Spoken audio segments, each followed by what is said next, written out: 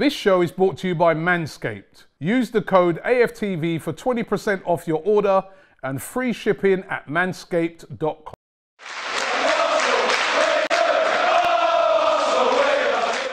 AFTV, um, before I go to you, my man, right? He said he ain't speaking, right? No, you got to say something. We got my guy Dapo, right? You would have seen him when we was over in Nigeria. The man who put it all together. Good to see you here, man. Good to see Enjoy you the again. game? Yeah, yeah, yeah. It was all right. It was all right. Bit of an anticlimax. Bittersweet, bittersweet, Bittersweet. Yeah, yeah, yeah. You know, I was one eye on the Tottenham Norwich game.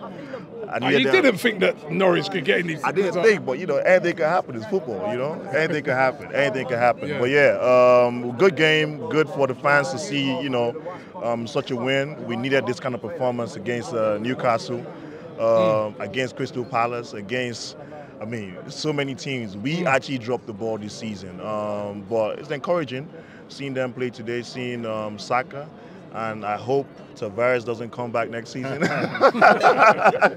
but yeah, um, good, good, good game, good game. Good game. Did you, you know, when when you look on it today, does it sort of add to the disappointment that you know this team on a day they can play some really good football, but maybe we just left, our, left ourselves a little bit short this season? Yeah, man. I think it all starts down from um, January, innit? We should have done better in January. If you had done better in January, this, these are the kind of games that we could have been turning over. Like Newcastle, there's not not enough depth.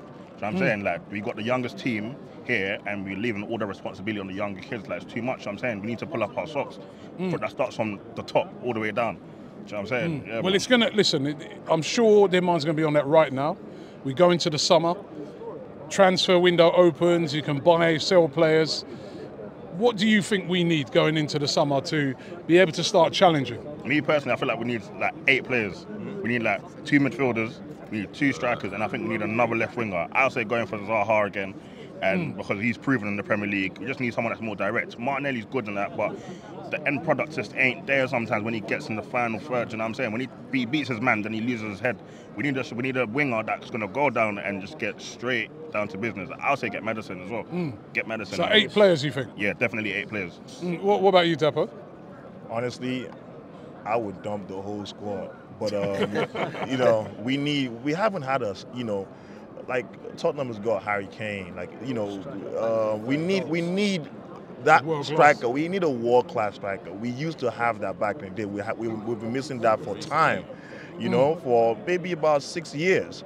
We need someone that, you know, every defender is scared of. Henry was that guy for us. You know, we need that kind of that kind of striker. We need a strong midfielder. We need a strong midfield. We have a good goalkeeper. I don't know, he's been twitching lately. I don't know what's happening, but you know, he's a good goalkeeper, Ramsdale. We just need, uh, I think, a, a fantastic striker. 'cause Alright. we we and we need a Cazorla type of player as well. Someone that could create opportunities.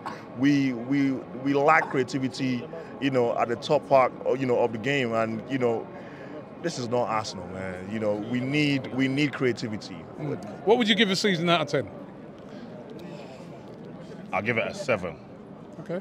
I'll give it a seven. I feel like we set the we set the bar so high, expecting so much, and then we just crumbled. So just, just that's that's the little things that we're missing, man. We just need hmm. that like seven. My my man said seven and a half.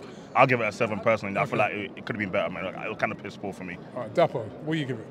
I mean, at the beginning of the season, before the first game, I was hoping for a top four. But after the Brentford game, you know, first three games, I mean, it looked like we were going to have an Everton type of season.